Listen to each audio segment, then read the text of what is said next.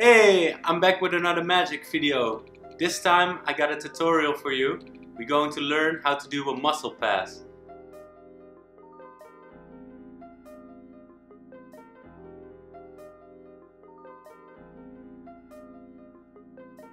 So, how to make a coin fall upside down. You're gonna love this one. Enjoy! So, the first thing you need to do is grab a coin.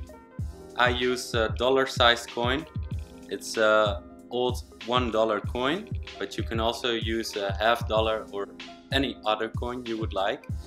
Uh, it's easier in the beginning if the coin is not too heavy, but also easier if the coin is, uh, yeah, a little bit bigger than, let's say, uh, a penny or a, a euro.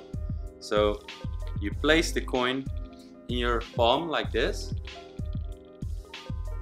and what you're going to do is uh, apply pressure on the coin so with your other finger this is just in the beginning to learn the move. And you're going to squeeze your thumb and your pinky together like this. So you're going to push the coin down and squeeze. So this is the position you want to start also known as palming.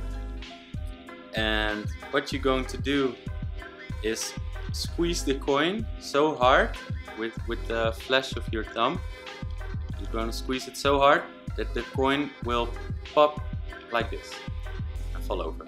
So in the beginning, uh, you will have to get used to yeah, applying so much pressure uh, with your thumb that you are going to get bruises.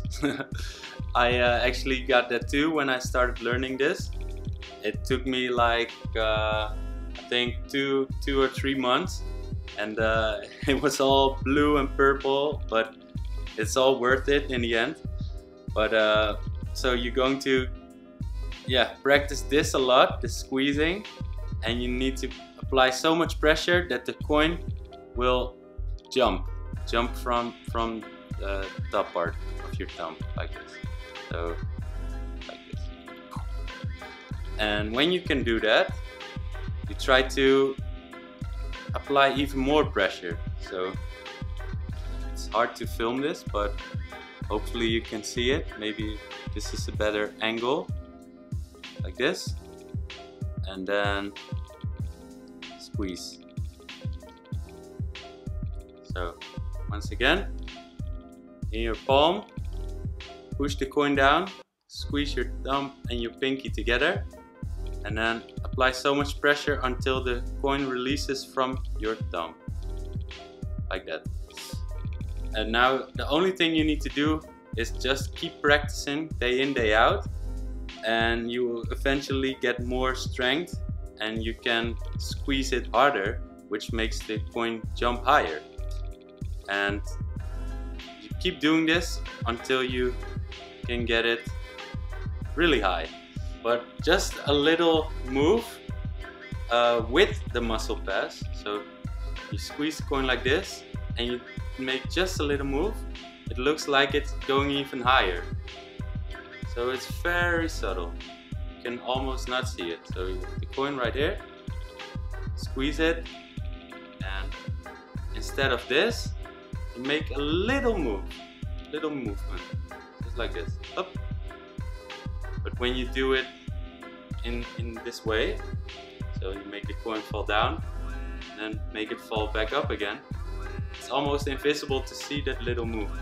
But it makes the coin go a lot higher. And then you can, you can try to even do it further apart, like this. Or um, you could use this sideways, so you can make the coin go sideways like this. Or even down, if you, instead of letting the coin fall, you do the muscle pass downwards, it looks very, very cool. Once again. So uh, that's the muscle pass.